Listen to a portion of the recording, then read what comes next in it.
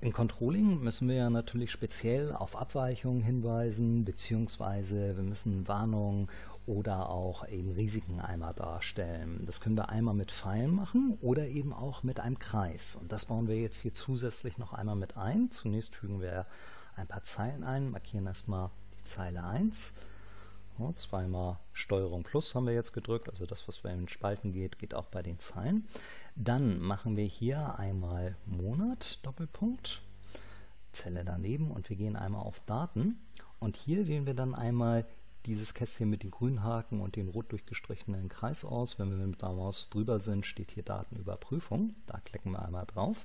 Öffnet sich das Fenster Datenüberprüfung und Registerkarte Einstellungen ist meistens voreingestellt. Wenn nicht, dann gehen Sie hier drauf. Und bei Zulassen, da wählen wir über das Dropdown-Menü einmal Liste und Quelle klicken wir jetzt hier auf den Button mit dem Pfeil, der nach oben zeigt und wir wählen einmal die Monate hier aus. Dann bestätigen wir mit Enter und klicken auf OK.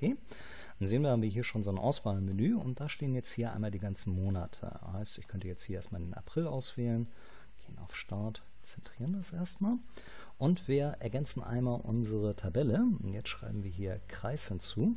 Und wir wollen jetzt, dass immer, wenn der Monat hier einmal ausgewählt ist, dass dann dieser Wert hier mit übernommen wird. Also den brauchen wir gleich, um den Kreis hier einmal zu setzen.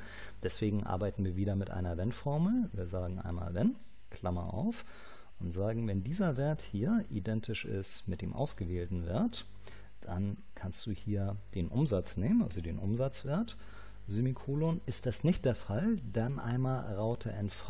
Und NV steht hier für No Value bzw. kein Wert. Das ist dann da einmal der gewisse Vorteil in meinem Diagramm. Also da werden die Werte eben nicht angezeigt, wenn hier einmal als Text Raute NV ausgewählt worden ist. Dann sagen wir Klammer zu und bestätigen mit Enter.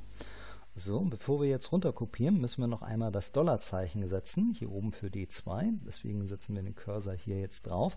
Wir können das über die Tastatur machen, entweder mit Shift, also der Umschalttaste und 4, also damit das Dollarzeichen, oder einfach die Taste F4.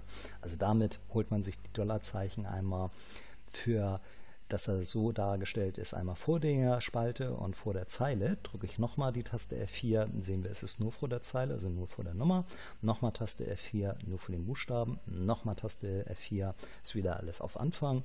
Und wir machen das jetzt aber mal trotz allem hier für beide, also sprich Spalte und Zeile.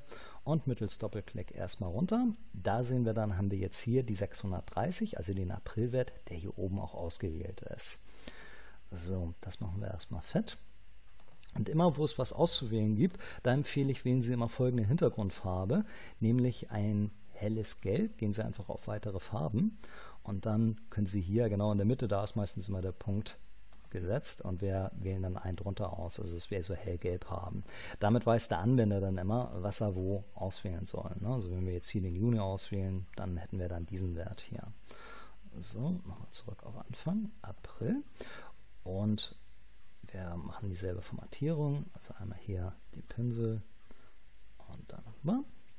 So, und jetzt bauen wir das Ganze für unser Diagramm hier ein. Also sagen wir erstmal rechte Maustaste, sagen Daten auswählen, hinzufügen und dann das Ganze einmal Kreis. Dann sagen wir rein Werte und wir markieren das Ganze hier einmal. So, und dann klicken wir auf OK und klicken nochmal auf OK. Da sehen wir, haben wir jetzt schon einmal hier den April mit drin. Ne? Das ist insofern schon mal ganz gut, aber wir wollen ja einen Kreis haben. Deswegen markieren wir diese Säule einmal, sagen rechte Maustaste und wir sagen Datenreihen Diagrammtyp ändern. So, und ab Excel 2.13, 2.16 und auch 2.19, da wählt man dann hier einmal aus für den jeweiligen Bereich, was für ein Diagrammtyp das einmal sein soll. Also sprich für den Kreis, da wählen wir jetzt ein Punktdiagramm aus. Also gehen hier auf das Menü, wo gruppierte Säule drin steht, scrollen runter und einmal Punktdiagramm auswählen. Dann klicken wir auf OK. Dann sehen wir, haben wir hier oben den Punkt. Den Wert, den entfernen wir jetzt erstmal, also markieren und Taste Entfernen drücken. So, und dann gehen wir in eine leere Zelle, gehen auf Einfügen und wir klicken auf Illustration, wählen Form aus und wählen hier diesen Kreis. So, und dann können wir schon mal gucken, so dass der Kreis hier einmal genau platziert ist, also so in dem Stil. Und wenn dieser Kreis markiert ist, drücken wir einmal rechte Maustaste, dann gehen wir auf Form formatieren, Dann öffnet sich gleich das Fenster hier mit Form formatieren. Wir sagen jetzt erstmal keine Füllung, dann können wir nämlich dahinter schauen, was drin ist. Als einfarbige Linie wählen wir eine rote Farbe. Und die Stärke, die setzen wir auf zwei Punkte, also PT für Points. Zwei Punkte. So, dann markieren wir den Kreis noch einmal und drücken jetzt die Tastenkombination STRG C. Also wir kopieren das Ganze einmal. Dann markieren wir hier diesen einzelnen Punkt und drücken jetzt die Tastenkombination STRG V. Da ist der Kreis jetzt einmal mit eingefügt, den wir vorhin manuell eingefügt haben, den Kreis. Den markieren wir und drücken die Taste Entfernen auf der Tastatur. Da ist der weg. So, und immer wenn wir hier von den Ist-Werten jetzt sagen würden, wir müssen über folgenden Monat nochmal sprechen, also sagen wir mal, wir wollen über den August jetzt einmal sprechen, dann wird der Kreis eben da angezeigt. Und machen wir das Ganze dann einmal im Juni, dann wird der Kreis da angezeigt.